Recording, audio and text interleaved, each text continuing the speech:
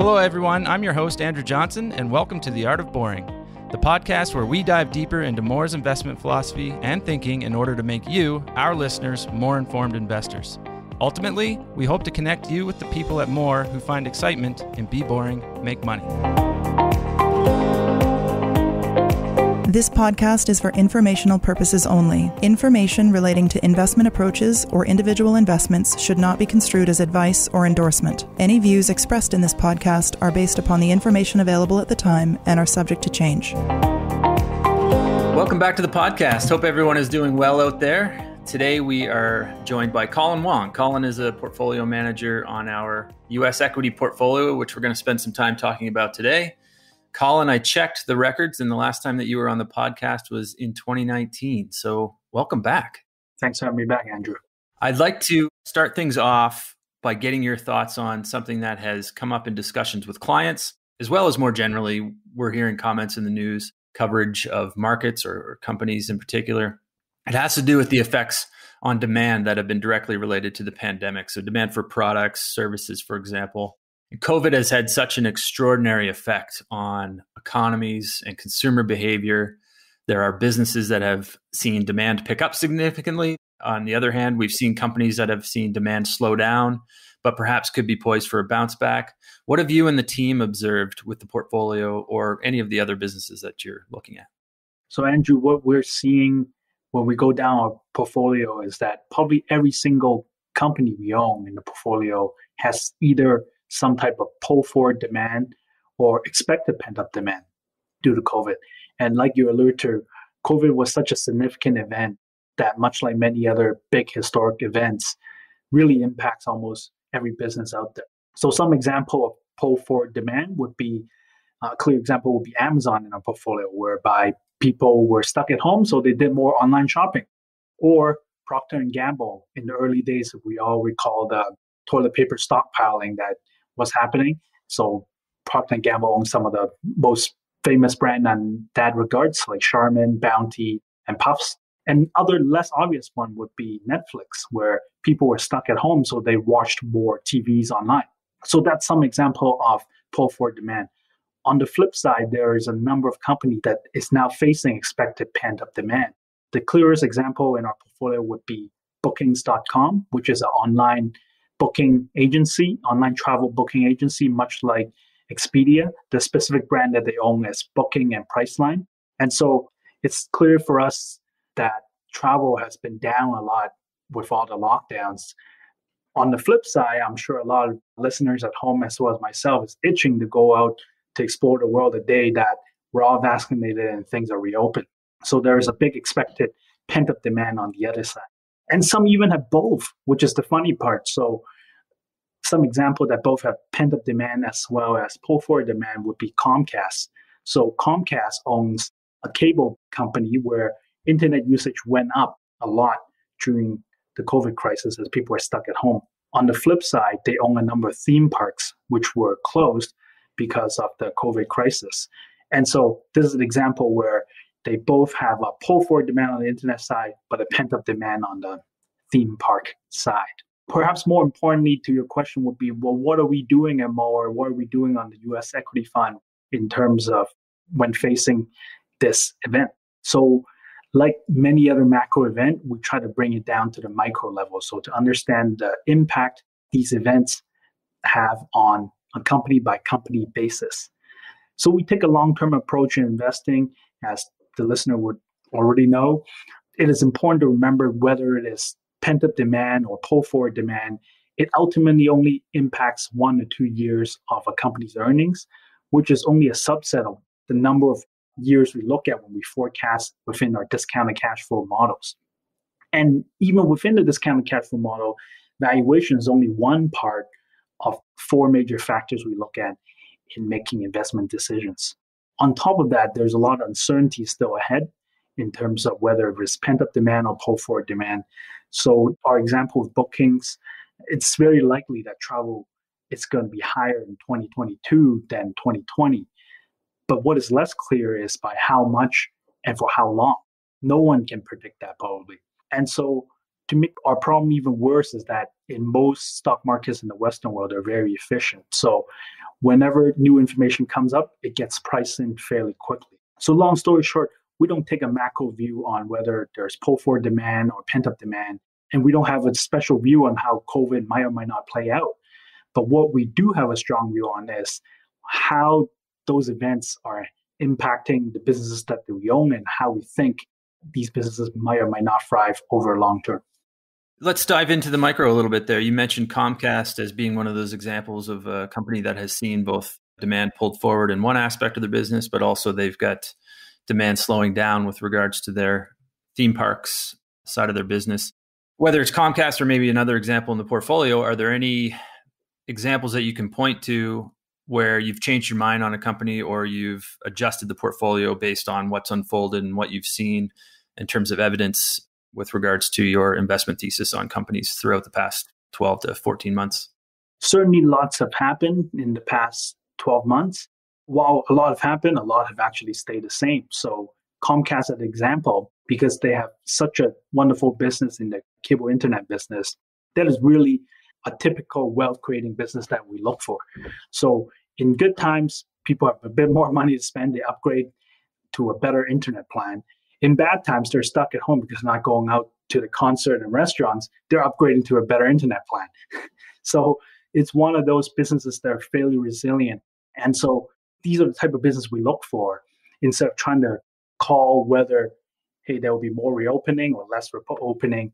What we care about is resiliency at the end of the day, where a company will do well in a gamut of different events happening around the world. Colin, what does the competitive landscape look like for a company like Comcast, are their competitors facing the same issues that you just outlined? Comcast and other cable company in the US face in general a pretty favorable competitive landscape. And the reason why that landscape is fairly favorable, that's because there's a limited number of players that have fiber to someone's home. So if we think about laying down cables going from the street to someone's home, it requires a lot of work. So you need to get a lot of city permits as well as personal property permits in order to make that happen. So oftentimes when you build a new home, you would find one or maybe two operators like Comcast to have cables run into your house. And once that is set, that's it. It will stay there for the duration of someone's home. There are periodical upgrades, but those are few and far in between. And so that really limits the number of choices that a consumer would have once those fibers are laid.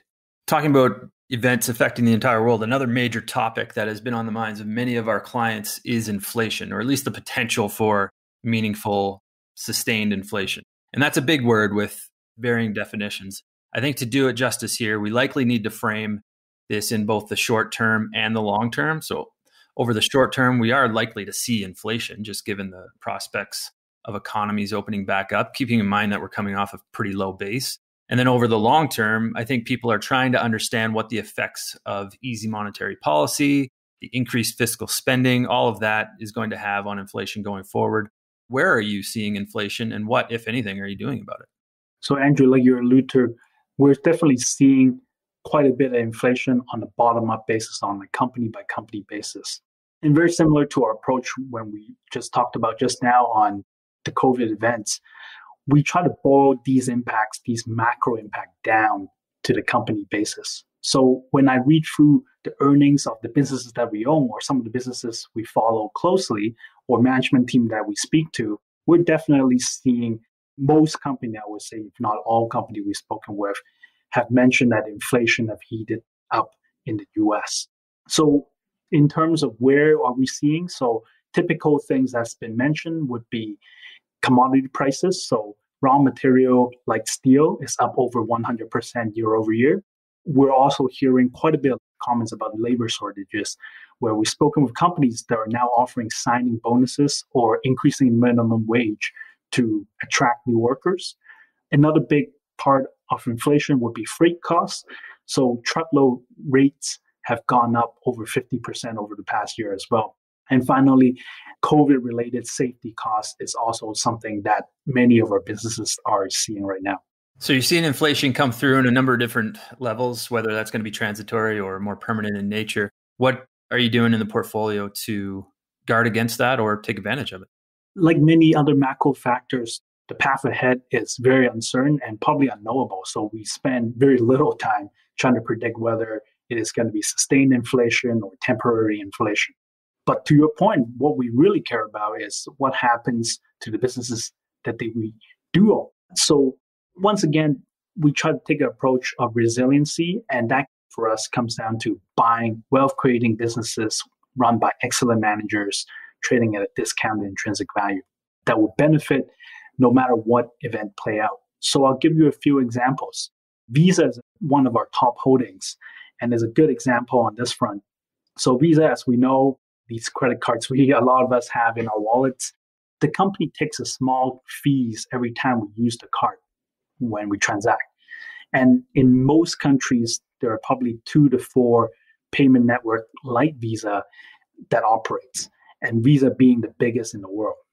It is very tough for another competitor to replicate Visa's network because to replicate their network would mean signing up thousands of local banks to issue these cards and then signing up millions of merchants to accept these cards as form of payment and then issuing billions of cards literally billions of cards to end customers to use them.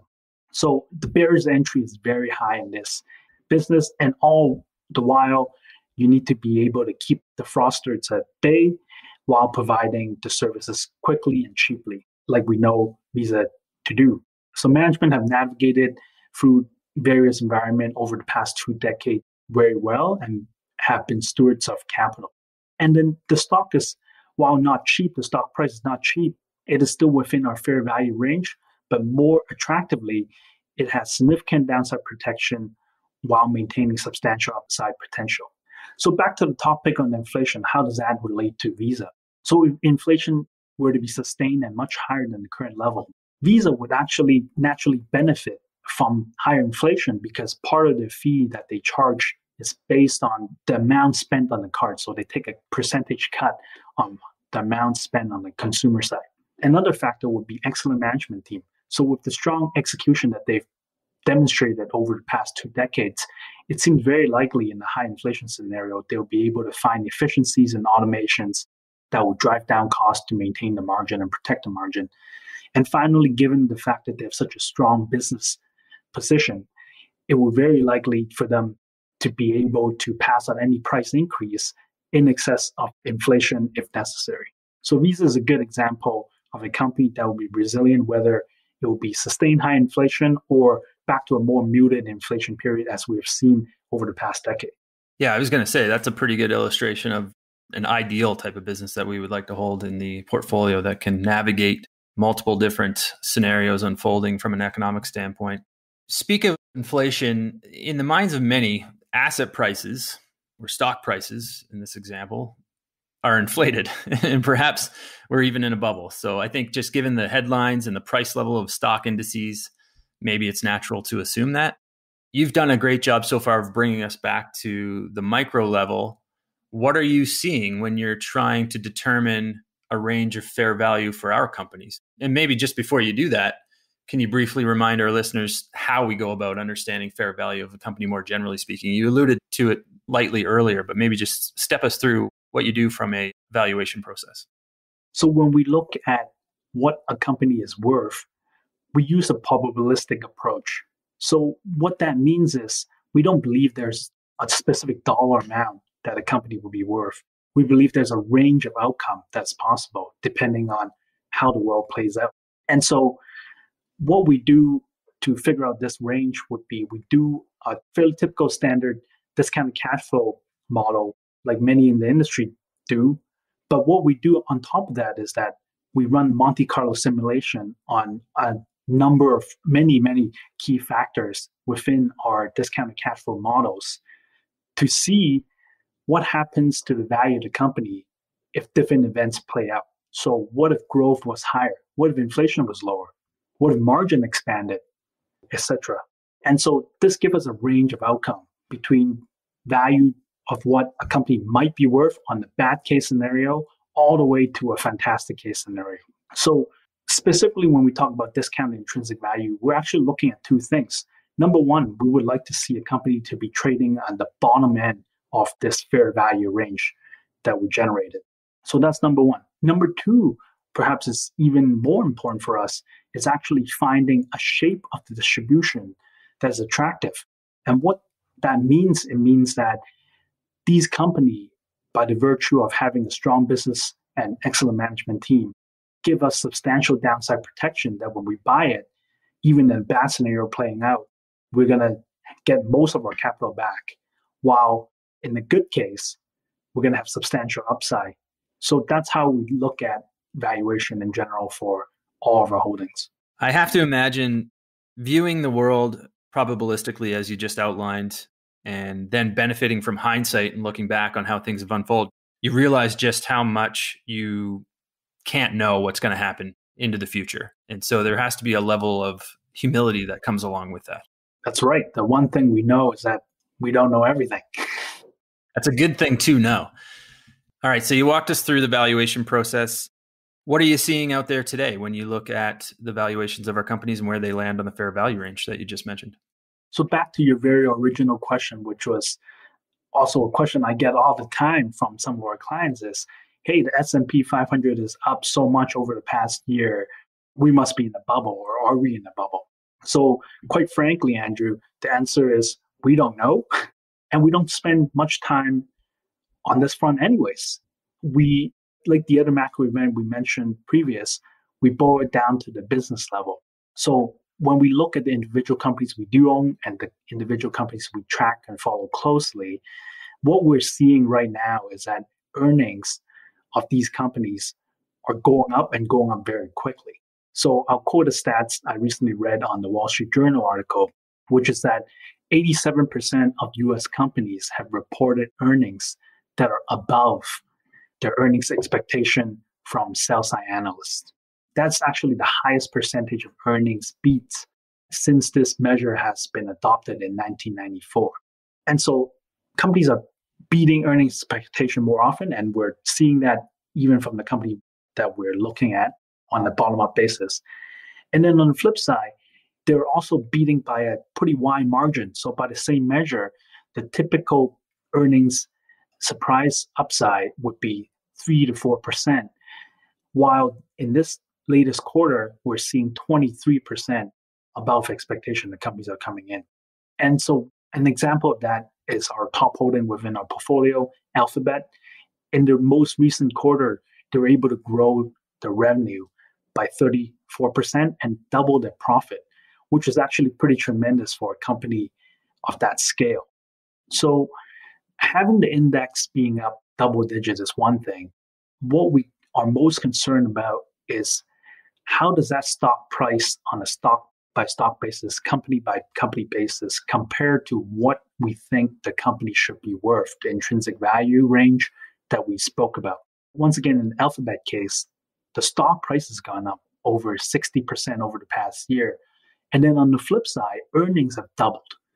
So the company is certainly more valuable now than it was a year ago. And so the old adage is probably true. The price is what you pay and value is what you get. So certainly seeing stock prices rise, but it sounds to me as though at least a good percentage of that has been driven by the fundamentals that we're seeing reported in earnings, as you just said. Let's talk a little bit more about Alphabet or Google. This is the largest holding in the portfolio. Why does it fit so well within our investment philosophy? That's right. So Alphabet their major asset is Google, as many of us are familiar with some of the products that Google provide. So at the core, what Alphabet does is it develops awesome products that many of us use on a daily basis.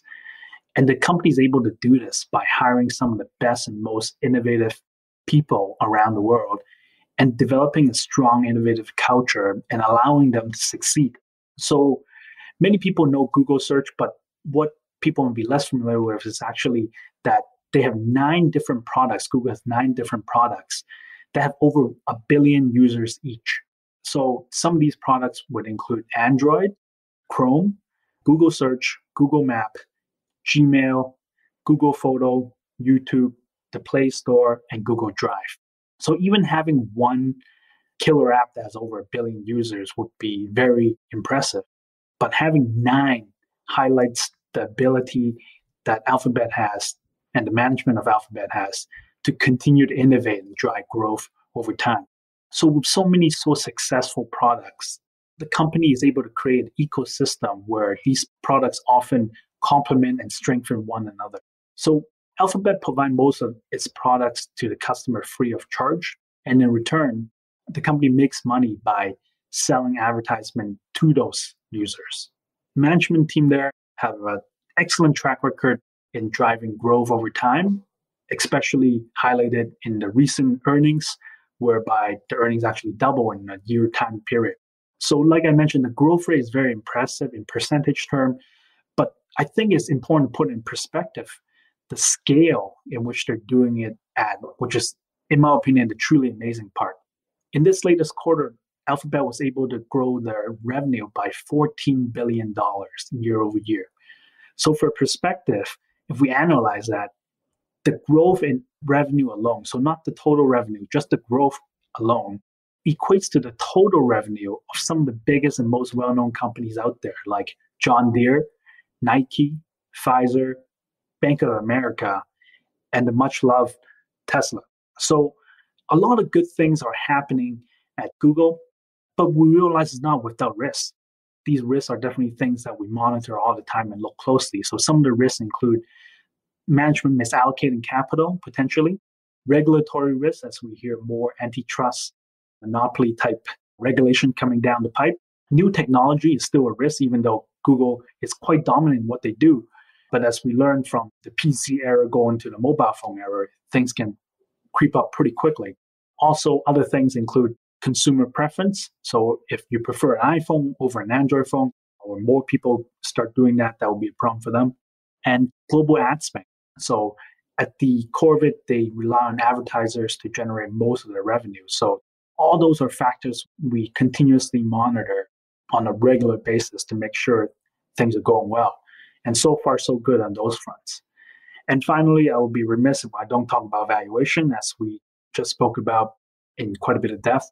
So, valuation for Alphabet, it's actually in the middle of our fair value range, which doesn't sound all that impressive. But like we spoke about just now, the midpoint is only one of two factors we look at.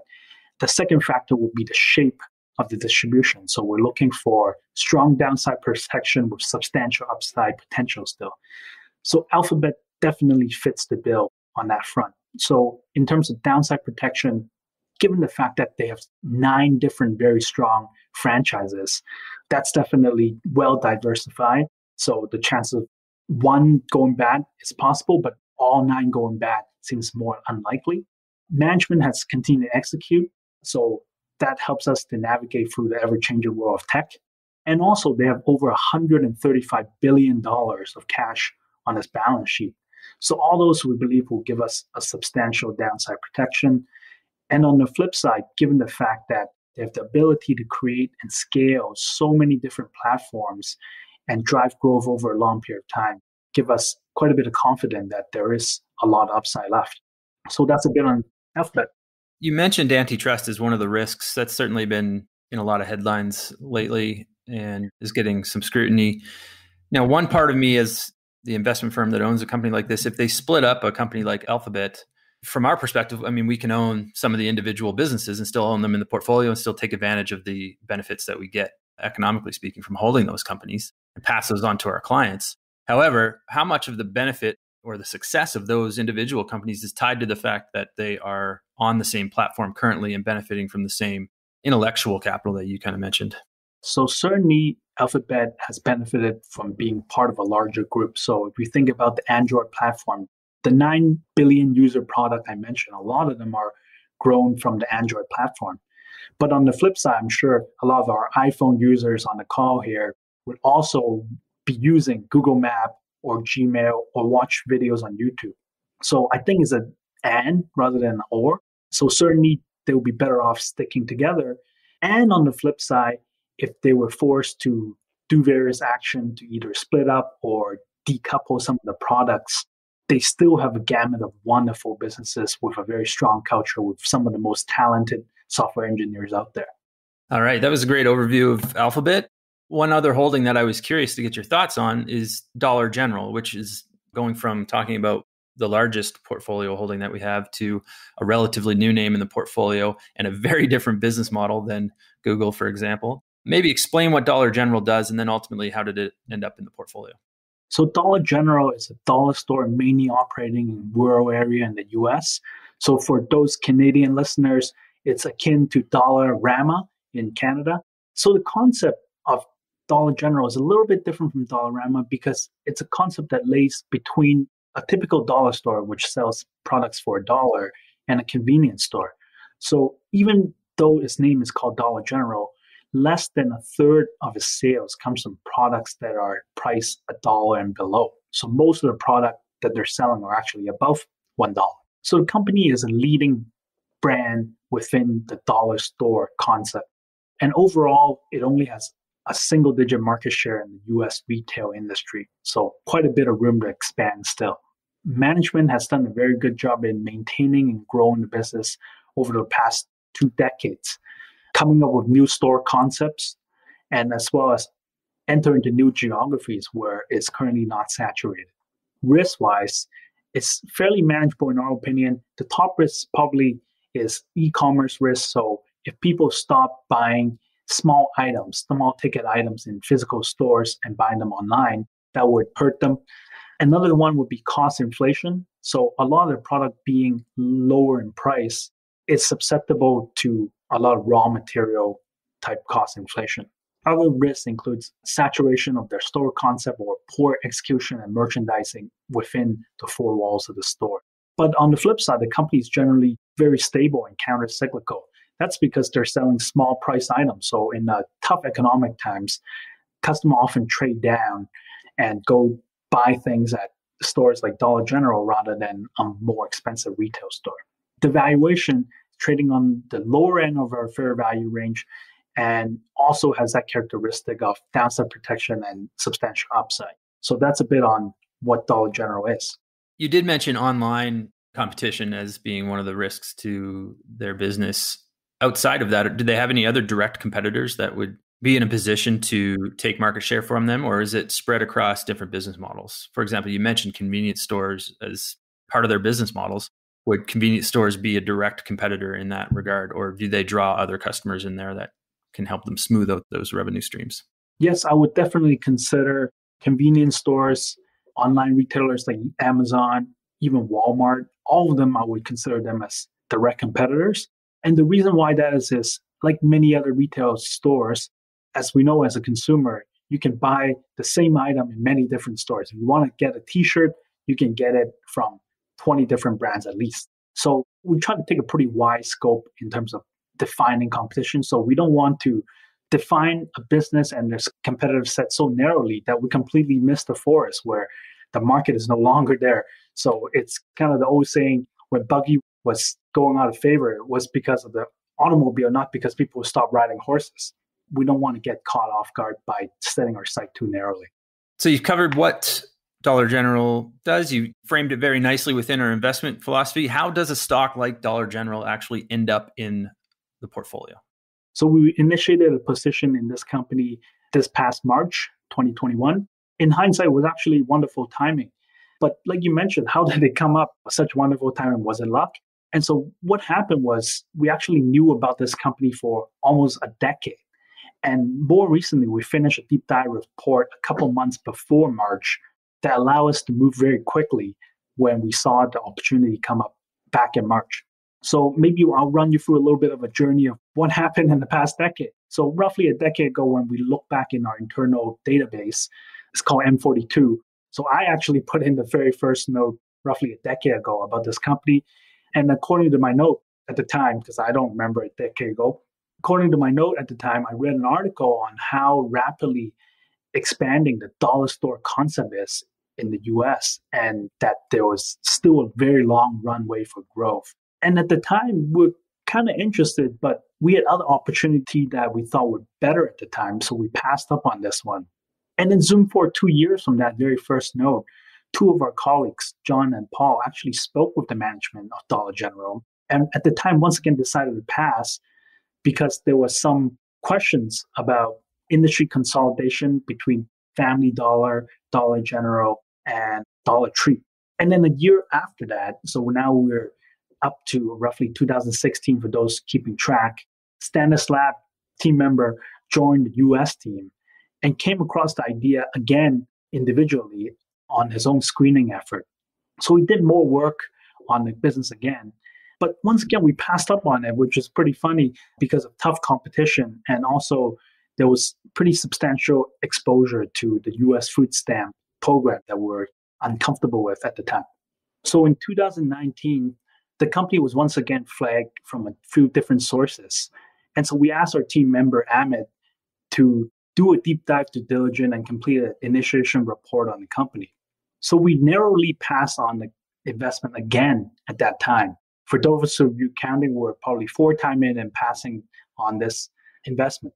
So at the time, what we were worried about were market saturation as well as the stock valuation. And so that sat on the shelf for another one year or so after we did the deep dive initiation until the beginning of 2021, where during our matrix meeting, we flagged this company as an opportunity once again. So we asked Amit to do a Delta report, which is an update report on what's happening and seeing if anything have changed or any of our theses have changed on the business. So after we done that report, two months after that, the stock price corrected and we initiated a position because we thought a lot of risks that we were worried about have now dissipated. So this is actually pretty common of what we do to learn about the business, follow it over time, and escalating our knowledge over time as we follow it.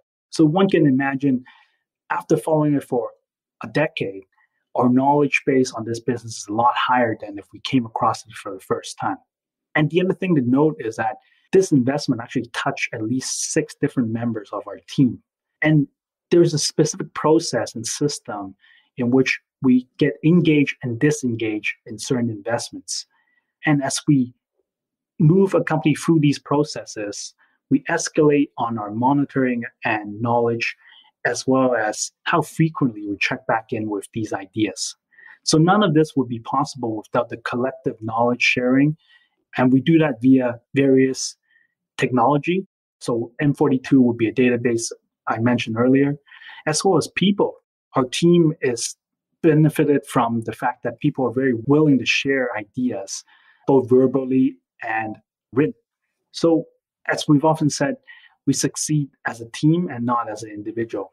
It also strikes me that there's real power in having this one single investment philosophy that we share across the entire research team and the entire approach to building portfolios. So, whether a note in M42, as you highlighted, is 10 years old or 20 years old, there's a lot of trust from the individual reading that note, knowing that it's viewed in the same lens in which they're viewing how to build a portfolio today. And you just have to go ahead and update your knowledge and the competitive analysis and whatever the economic scenario is that's currently unfolding and factor that in. And then, of course, do all the work on valuation to update that. But viewing it in the same lens as someone 10 to 20 years ago has to build so much trust in a system like that. That's correct, Andrew. I think you hit on both of the important point in my opinion, which is number one, team Y, we have the same investment philosophy, which is looking for wealth creating businesses run by excellent managers trading at a discount intrinsic value. And that has been consistent ever since I've joined and even before I joined. And the second aspect would be the trust element. We have a very high trust team whereby I believe it if I read something from another member that was written eight years ago, 10 years ago, that that person would have done a good amount of due diligence on whatever they've written down. So both of those elements are very important for us to share knowledge over multi-year, multi-people team. Thanks, Colin. I think that's a great spot to wrap things up. I don't want to wait another two years to have you on again, so we'll try to shorten that time frame between your visits with us. I really enjoyed this conversation and just wanted to thank you for taking the time to sit down with me and our listeners. Thank you, Andrew. Take care. Hey everyone, Andrew here again. To subscribe to the Art of Boring podcast, go to mawer.com. That's M A W E R.com forward slash podcast or wherever you download your podcasts. If you enjoyed this episode, leave a review on iTunes, which will help more people discover the Be Boring, Make Money philosophy. Thanks for listening.